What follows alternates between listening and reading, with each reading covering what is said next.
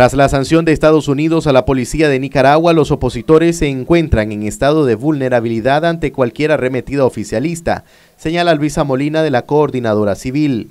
Siempre lo hacen, cada vez que tienen una sanción, la venganza va hacia el pueblo y la venganza viene con impuestos, viene con represión, viene con secuestro, viene con asedio, porque ahora ya inventaron, es decir, tienen una cabeza tan cochambrosa, tan sucia, que ahora llegan a las casas de las personas a asediarla y a no dejarla salir. Ahora te dan casa por cárcel de hecho. Entonces yo creo que esto nos va encaminando también a que los y las nicaragüenses pensemos en que debemos de organizarnos en que organizarnos por cada célula, por cada familia, porque en la medida que estemos organizados vamos a ser menos vulnerables.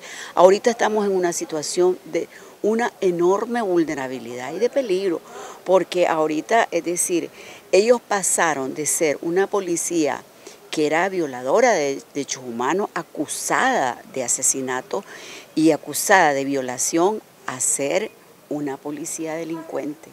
Indica que el gobierno en su afán de disminuir el impacto de las sanciones trasladaría responsabilidades administrativas de la policía al Ministerio de Gobernación. Me imagino que ellos van a empezar a trabajar en la reforma de la ley de la policía y me imagino que van a regresar la institucionalidad al Ministerio de Gobernación porque el Gobernación era el, responsable de la policía y a partir del Ministerio de Gobernación se resolvían, pagaban, hacían todo.